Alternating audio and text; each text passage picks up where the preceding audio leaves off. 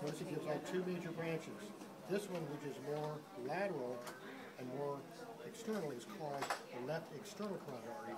That supplies the tissues on the outside, okay? The one that's deep here, more medial, is the left internal carotid artery, and that's a major blood supply to the brain. You can see it here and here, okay? So you have a left internal carotid artery, you have a right internal carotid artery. Now, they only show the ones on the left here, they both branch off of uh, left common carotid artery, left external carotid artery, left internal carotid artery, which goes up in the brain case. Okay? These that run through the cervical vertebra, also a major blood, uh, blood supply to the brain, they come up right here. It's got a plus. Those are called vertebral arteries. You may remember when you were studying the vertebra, okay? Intervertebral disc, Cervical, thoracic, lumbar, and so on. breakfast, lunch, and dinner.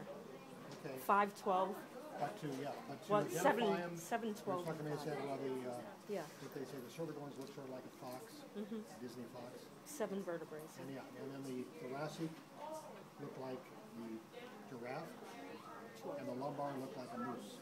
Well, one distinctive feature of the cervical vertebrae is they're the only vertebrae that have foramina, or holes in the transverse processes. Running through that are these two major blood vessels called the cervical and vertebral arteries. They're also a major blood supply to the brain. These two coming up here. So these two, the left and right internal carotid arteries, and then these two, the left and right vertebral arteries, the major blood supply to the brain. So you actually have two systems there in case there's a blockage, to get blood to the brain. Okay? That's a good one to see the difference. That's probably what I'm using.